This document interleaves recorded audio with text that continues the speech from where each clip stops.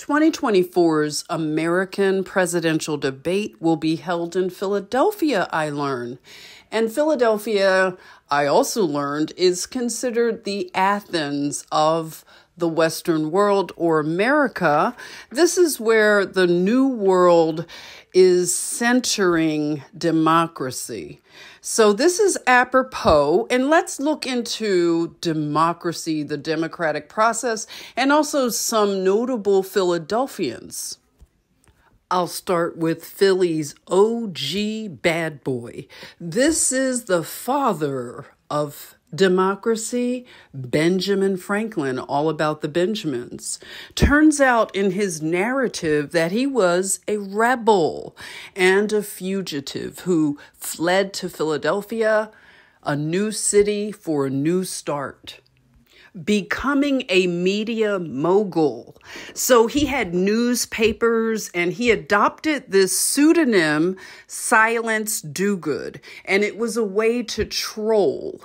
He also had a, like, I don't know, an alter ego, which was a middle aged widow. And he hid behind this alter ego so that he could be an agent provocateur. Ben would get the streets buzzing and talking. He could really stir the pots. And he formed the Junto, which was a group of like minded aspiring artisans and tradesmen, modeled after the English coffee houses. And this was at the center of the spread of Enlightenment ideas to the illuminated ones. So, this media empire gave Benjamin Franklin the perfect forum for agitation as he wanted to transform America. Ben became famous and he was like a guru who taught how to win respectability and gain social capital by carefully cultivating your PR image through media spin which basically looks like virtue signaling or doing good for photo ops and charity and philanthropy.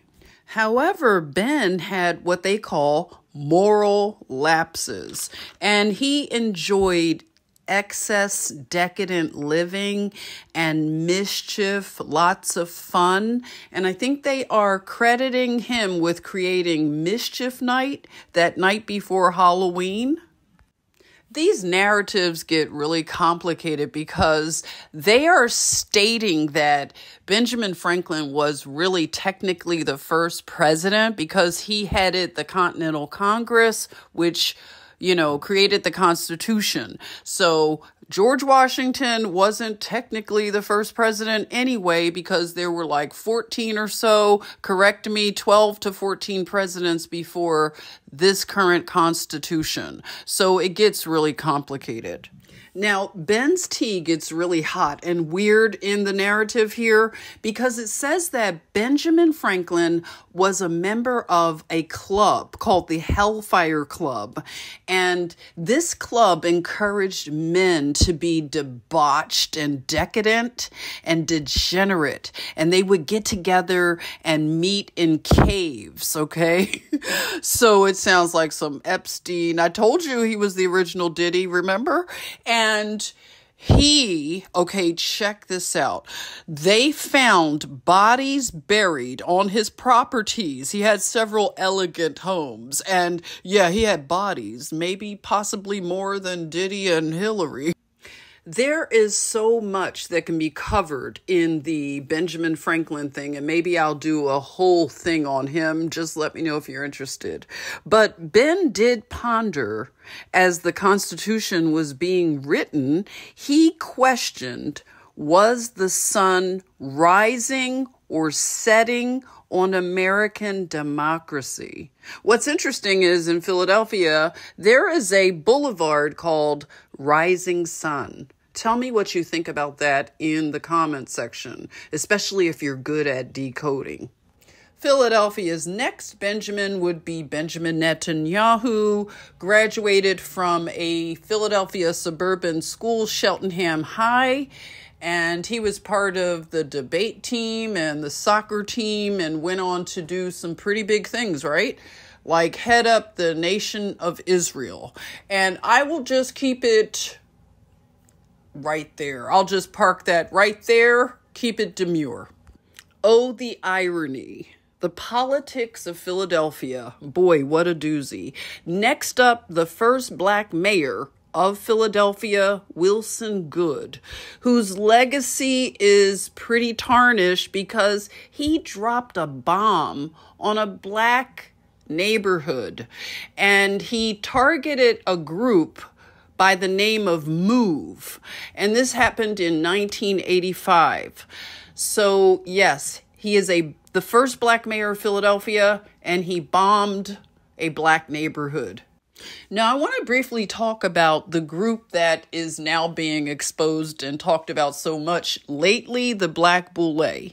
Now, they were created in Philadelphia. This is where it was founded.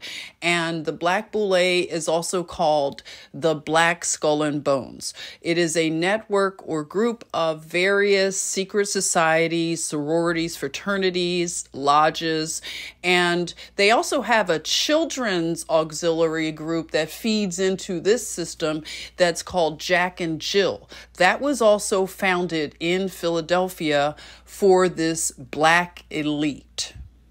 I want to wrap up this upload with a Philadelphian by the name of Lawrence Otis Graham. Now, Lawrence would be what you would call a Black Boule insider.